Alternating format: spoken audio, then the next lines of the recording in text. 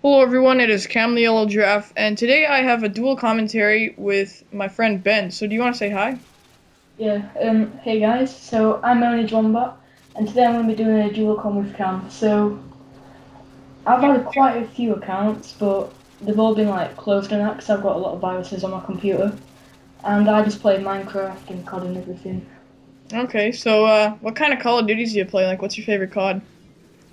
I think that my favourite COD is probably Call of Duty 4. Oh yeah, that's... Sorry? Call of Duty from like the first ever one.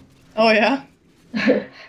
Like from the basics, and then I can remember playing Call of Duty 3 like the day before Call of Duty 4 came out. Oh yeah? It just had all the new classes and everything. Like you could create a class and do a new perks and everything, and it was probably the best thing that happened to Call of Duty. Nice. So then, uh, do you like the new Minecraft update too? Yeah, that's quite good. I think they're just making it a bit too like futuristic, really. I think it kind of backfired on them when it said it'll take less resources because, uh, for me it takes more. What about you? Are you seeing frame drops and stuff? Yeah. Okay, so then, uh, do you know what our topic is? Like, do you want to introduce it, kind of? Um, reasons why Call of Duty is getting less fun. Yeah. So do you want to start?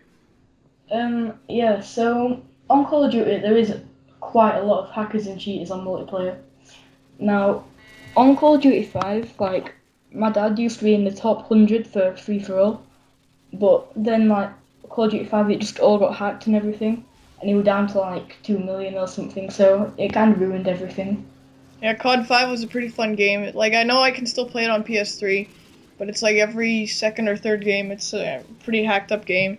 And I know I was hacked to like, uh, I don't know what level it goes up to, but I was hacked to the top level, so I was like, oh, that kind of sucks.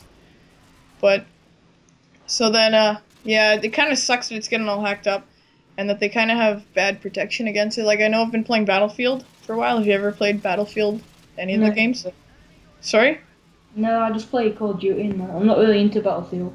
Oh yeah, well I was playing Battlefield and you don't really see any hackers, but there are a few glitches like how they have vehicles in Battlefield, you know?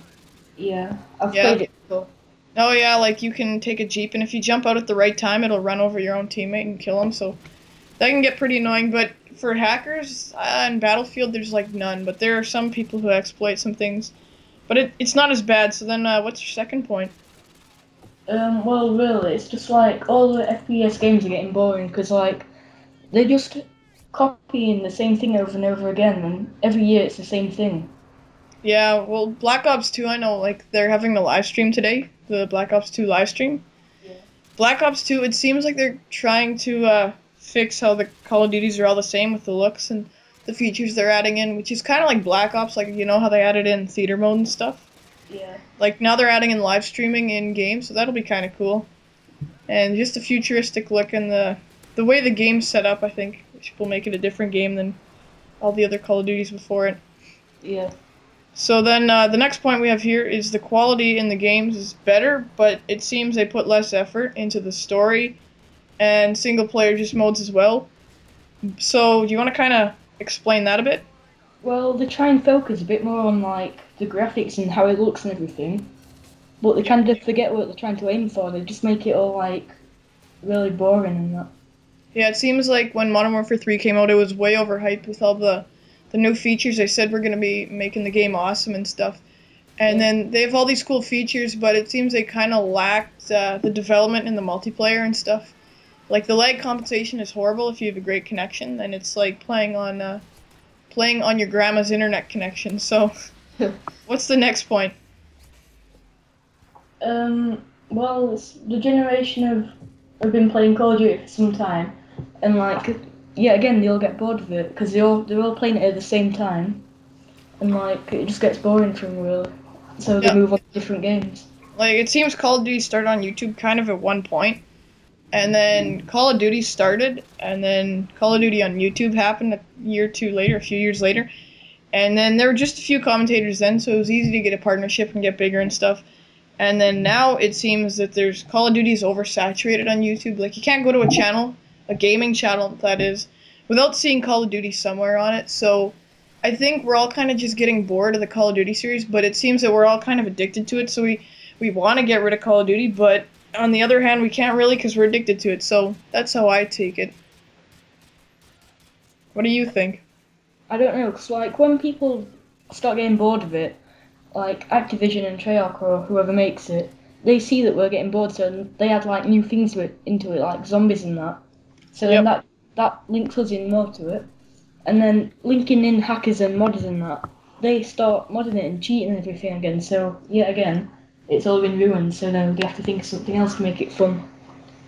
Yeah, but it, it seems the company with the horrible hacker and glitch patching is Infinity Ward. Like uh, back in Modern Warfare 2, there was the map Fuel in the DLC. Do you remember that map?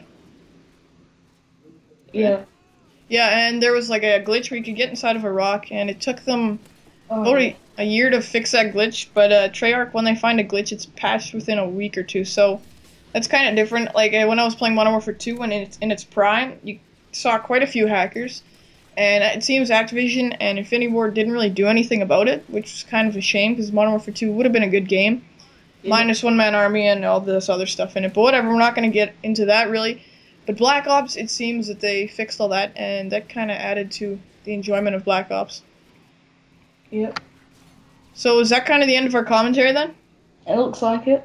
Okay, so I'll have Ben's channel in the description if uh, if it's the same channel when I upload this. Uh, thanks for having a dual com with me, Ben. It's alright, and thank you for letting me do the dual com with you. Oh yeah, you're welcome. Goodbye. Bye.